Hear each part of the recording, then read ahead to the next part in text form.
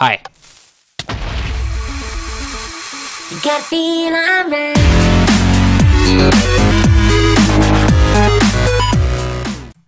Okay, hej folkens og velkommen tilbage til Pixelmon. I dag er vi lige på farmen, fordi jeg skulle lige, øh, jeg, jeg har lige lavet noget farming og ting og sager.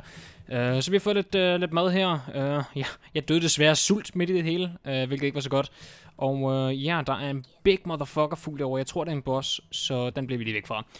Og så har vi en egghen's der, som slanger sig rundt og øh, laver lort inden, Det ved jeg ikke. Skal vi prøve, så vil jeg lad os lige tage en battle egentlig nødt lige til at øh, starte dagens episode af med. Uh, Bite. Lad, lad, lad os egentlig prøve at bruge det. Det kunne jeg egentlig godt tænke mig at prøve at bruge. Sådan der, så... Bag, brugte den noget på os? Ja, okay, godt. Og der brugte den noget igen. Og der brugte vi bare, Okay. Ja, ikke så godt lige den her situation. Den skulle have skadet noget mere på os, så havde vi skadet lidt mere på den. Uh, okay, mod shot. Lad os bare få, øh, få det overstået. Kan du så dø? Sådan der. Hold da kæft, det var øh, godt angreb. Øhm, ja, jeg tror lige, vi går det helt hurtigt. Men i hvert fald i dag, der øh, har jeg tænkt mig, at vi skal begynde at øh, planlægge lidt, at vi snart skal have fanget os nogle Pokémoner. Fordi det kunne vi egentlig godt bruge, og vi har ikke rigtig nogen Pokéballs, så det er ligesom det, vi skal have fat i. Så vi skal ud, og så skal vi skaffe nogle Apecorn... Øh, vi skal skaffe nogle bær. Vi skal skaffe nogle røde bær, og så mener jeg, at det andet, det er aluminium, vi skal bruge. Se, der er nogle Pikachu's herude, der er en level 19 Pikachu, den kunne jeg måske fange, hvis jeg var heldig. Øh, så der er mine om der. Lad os bare prøve at undgå dem for nu. Øh, det er godt nok en stød Pokémon, og øh, vi, har en, vi har en vand Pokémon, som er øh, svag over for stød, så det vil ikke være den skide bedste idé i hele verden, at øh, gå imod dem. Der er en Doctrio der, shit. Okay, øh, dem holder vi os bare væk fra. Hmm, hmm, hmm. Der er en almindelig enhed. Diglet, Diglet! Den burde vi kunne nok rimelig hurtigt med en watergun lige i hovedet. Og så skulle den være der, sådan der, fantastiske. Okay, men ja, vi leder efter nogle bær, og øh, de spawner altså ikke herude i ørkenen, så vi skal lige ud herfra. Og det er de der, vi har set nogle buske før med bær på, tror jeg. Så vi leder efter nogle af dem, og øh, de har sådan nogle røde prikker ovenpå, hvis det er de rigtige bær. Der er forskellige bær, forskellige farver, som kan lave forskellige øh, pokeballs, men øh. Yeah. Der er et par numre, her. Lad os, øh, den er level 31, og den er level 7, og den er level 30. Dem lader vi bare være i fred. Um, det er sjovt, størrelserne på de der Pokémoner der, jeg har ingen anelse om, hvordan det fungerer. Det er der så vidt... Wow, hvad skete der? Ah, for fuck helvede der også. Kan du, ikke, kan du ikke lade mig være i fred? Det er lidt ground attack, men det har det ikke en god effekt på øh, flyvende Pokémon. Der brugte vi tackling lidt fejl. Goddammit. Mass chop for helvede ramt over det lort. Ah, okay, vi er færdige. Had no effect. What? Run! Yeah, okay, fuck. Okay, lad os komme væk herfra. Det var en uh, rimelig hardcore fugl Pokémon, det der. Pidgeot. Pid Pidgey. De der, de er over det hele set ud til. De flyver bare rundt. Lige meget hvor man går hen, så er de der bare, synes jeg. Der har vi en øh, uh, magma der. Ej, my god, hvor er der mange Pokémon. Øhm. Ja, det så ikke så godt ud. Der må vi blive totalt kvæst i muren. Fantastisk. Ja, jeg ved ikke rigtig. Jeg tror faktisk, vi skal begynde at bevæge os lidt den der vej for at finde de der bær, fordi det er garanteret, at de ikke spawner ud i ørkenen. Det kan jeg, det kan jeg med garanti sige. Og øh, jeg ved ikke, hvordan det er med snibiomes, om de ligesom spawner derinde. Men det er meget muligt, at de ikke gør, så derfor så tror jeg bare, at vi begynder at bevæge os øh, i den der retning, og så håber vi på, at vi finder et eller andet. Oh god, okay, vi kom i kamp med en slow, slow poke. Um, shit, den er faktisk rimelig... Det, det ved jeg ikke rigtigt. Der er måske en chance for, at vi kan klare den. Jeg ved ikke rigtig, hvordan modshot det ligesom er på, på den. Ah, for helvede, nu brugte den jorden. Det er bare det værste angreb, der er. Hvis ikke man kan nå nakken ind, men så falder i søvn, så er man bare fucked. Fordi nu, nu, nu sover vi i sådan fem runder eller sådan noget, og jeg vil ved med den over nakken os inden. Øhm. Ja, det er ikke så godt det her. Det ser så ud som om Slowbro, den ikke rigtig laver noget, eller Slowpoke. Slowpoke, slow... Jeg tror Slowbro, bro, det er dens udvikling, men jeg er ikke helt sikker på, hvordan det er. Det er også lige meget. Sådan der, 848 XP. Fuck ja, yeah, level 18. Okay, cool. Uh, ja, vi, vi fortsætter bare lige den her vej her. Jeg var faktisk ikke nået så langt. Uh. Okay, ja, yeah, uh, fuck. Vi havner lige hernede ved en fejl, det var ikke så godt. Jeg skal lige så tage med inventory igen egentlig. Lad os lige mine noget jern, nu vi er her egentlig. Men øh, ja, vi, vi, ja, der er en skov lige over os, så øh, jeg tror bare, vi skal prøve at kigge os lidt deromkring og se, om der ligesom er nogle bær af forskellige arter. Øh, og så har jeg fundet ud af, at vi skal bruge røde apricot berries. Øh, ap apricot, jeg er ret sikker på, det er den måde, man udtaler det. Og øh, så skal vi bruge jern. Og det er det eneste, man skal bruge til at lave en standard pokeball. Så er der selvfølgelig også øh, Great Balls, som er blue apricorns og røde apricorns. Og så er der Ultra Balls, som er et, et gult og to sorte. Uh, og det, det, ja, det er sådan lidt forskellige um, hvordan man, hvordan man laver de forskellige pokeballs. Øh, men øh, de almindelige pokeballs, dem tror jeg bare, vi starter med at gå efter. De burde... Okay. De burde kunne øh, gå an for nu.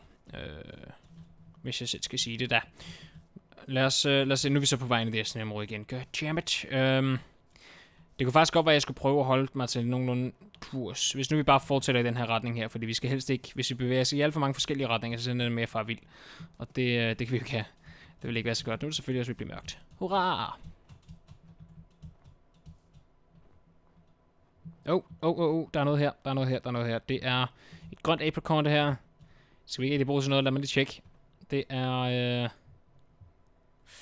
Ja, okay, vi kan, lave, vi, kan, vi kan lave en fireball med det, men så skal vi også bruge et gult apricorn. Og øh, det har vi ikke endnu. Så skal vi bruge et gult apricorn og et grønt. Ab øh, to gule og et grønt.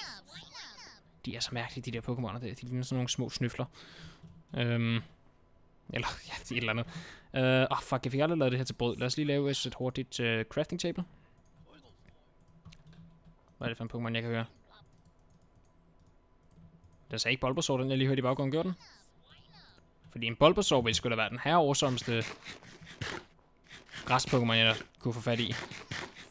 Selvom jeg nu ikke tror det. Ej, den sender op. Wow, nej, nej, nej, nej, nej, nej, nej, det har jeg ikke bedt om det her. Gå nu væk. Um, shit, hvad er det, vi kæmper mod? Det er en... Uh, det er en vand-Pokémon. Anden udvikling, ligesom os. God damn it. Lad os prøve med et mod shot og se, om der sker noget ved det. Wow, okay. Uh, Se ud som om det var vildt genialt. Lad os prøve på bite, se om vi kan overleve det. Okay, rimelig godt angreb fra den side. Igen, okay. Um,